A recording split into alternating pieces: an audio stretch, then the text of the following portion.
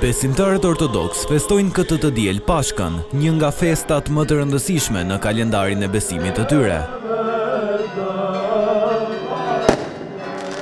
Festimit të Pashkës i parapriu mesha tradicionale e mbajtur në mesnatë në Katedralen Ngjallja e Krishtit në kryeqytet, ku qindra besimtarë morën pjesë për të ndjekur ritualin fetar. Besimtarët uruan njëri-tjetrin për më shumë lumturi, paqe e begati. Gjej rastin dhe kënaqësinë t'i uroj të gjithë besimtarët e krishterë ortodoksë që Krishti u ngjall dhe për gjithë shqiptarët që të kenë jetë më të më me dashuri me njëri-tjetrin, të kenë jetë shumë më të gëzuar dhe me begati në familjet e tyre. I uroj gjithë shqiptarëve gëzuar Pashkët, shëndet e mbarësi në familjet e tyre.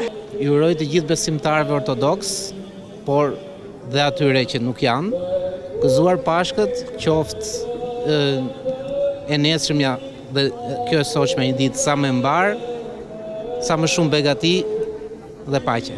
O Zot një paqe në botë dhe mos ketë luftë. Kjo është më mirë. Të shumtë ishin edhe të huajt që festa e ngjalljes së Krishtit i gjeti në Shqipëri. Ne jemi nga Greqia dhe jemi shumë të lumtur që ndodhemi këtu. Është një moment shumë i veçantë për ne, pasi po ndihemi si në shtëpi. Urojmë për të gjithë paqe dhe lumturi. Jemi italianë, kjo festë na gjeti këtu. Janë rite shumë të bukura që ju ndiqni gjatë Pashkës Ortodokse. Por shpirti i çdo feste mbeten sigurisht fëmijët, ndaj një urim në këto Pashkë erdhi edhe prej tyre.